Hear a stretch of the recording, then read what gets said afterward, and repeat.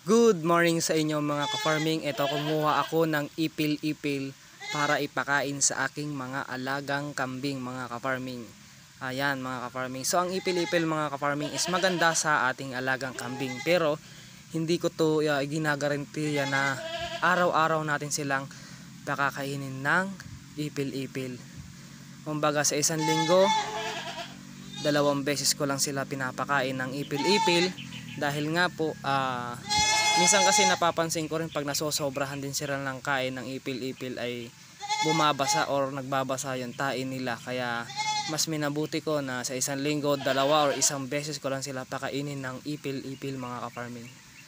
So sa panahon ngayon na wala tayong pagpapastulan ah, mas minabuti ko na binigyan ko sila ng free range kumbaga galaan.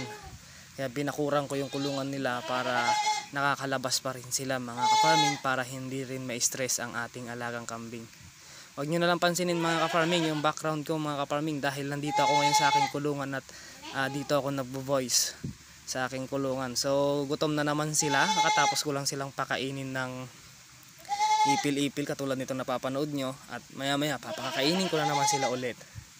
So yan mga ka-farming, ah, ugaliin din natin ng ating kambing ay pakainin sila ng gusto mga kaparming dahil nga ah, mahirap din naman sa kambing na lagi silang gutom kasi nga kawawa din ng ating alaga. So sipag-sipag lang sa pag-aalaga ng kambing dahil ah, oras na mapaanak mo na ito, ah, malaking kasiyahan naman ang mararamdaman mo. Bukod sa masisiyahan ka, may inganyo ka talagang mag-alaga ng kambing lalo na pagka naparami mo sila.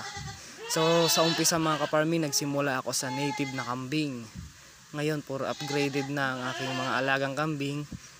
Yan mga ka-farming. So ganun lang step by step sa 3 years kong pag-aalaga ng kambing masasabi ko na ah, sa dami na rin na sablay na nangyari sa aking pag-aalaga ng kambing maraming na rin namatay sa mga kambing ko. Eh masasabi ko pa rin na the best pa rin ang pagkakambing at walang lugi sa pag-aalaga ng kambing.